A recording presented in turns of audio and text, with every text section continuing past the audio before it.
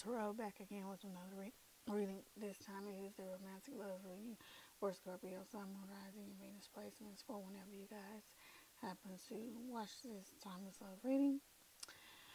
So let's get into the reading, alright? Divine Holy Spirit, what romantic love messages do you have for Scorpio, Sun, Moon, Rising, and Venus placements for whenever they happen to watch this timeless reading? As always, guys, only take the messages that resonate with you in your particular situation. If it doesn't apply, let it fly. But if it does apply to you and your particular situation, consider liking the video, sharing the video, and subscribing to the channel and hit that bell notification if you haven't done so already. We would love to have you as a member of the Soul Tribe.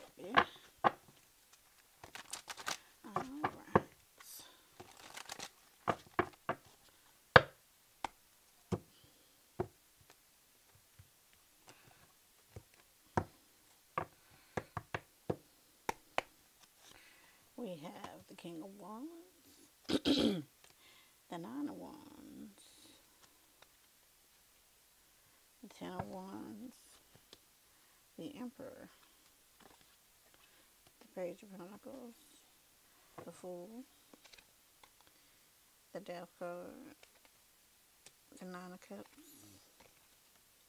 and the Magician. Overall energy, the Five of Cups, crying over spilled milk spilled wine, spilled water, whatever the case may be.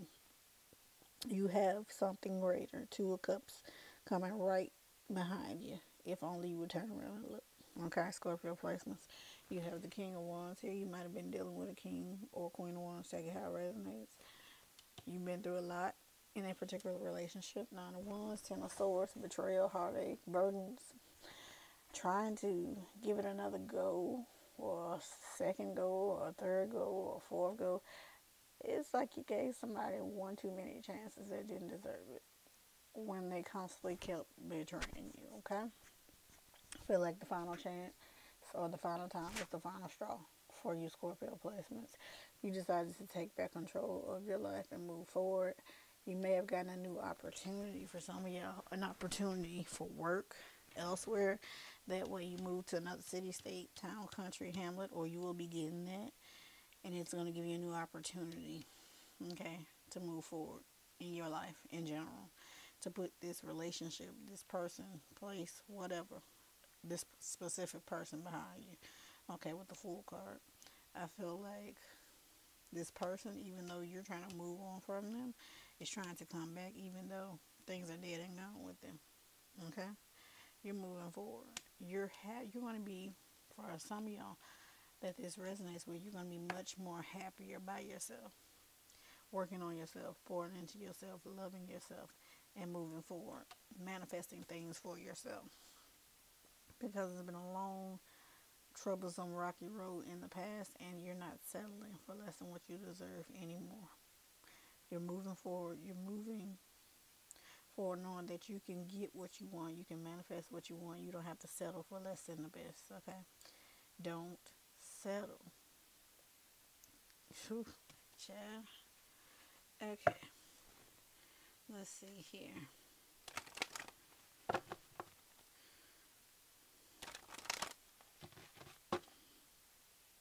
It's like whoever this is your natural energy Scorpio placement for whoever this person was.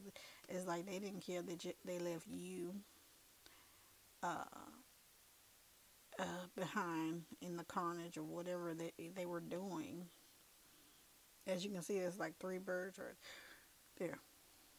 They didn't care that they got you caught up in their mess, in their games, in their lies, and their deceit. Mm. So now you like deuces. Okay. I don't blame you on that one.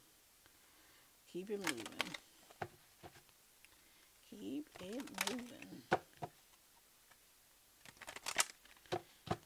Hmm.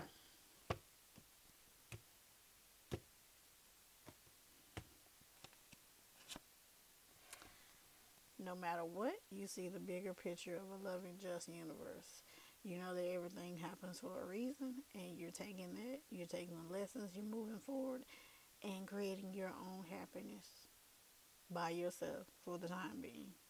Manifesting things that you need in your life, person, places, things, whatever, to move forward. Okay. So that is all I have for Scorpio Sun, Moon, Rising, and Venus placements. I hope you guys truly enjoy the reading.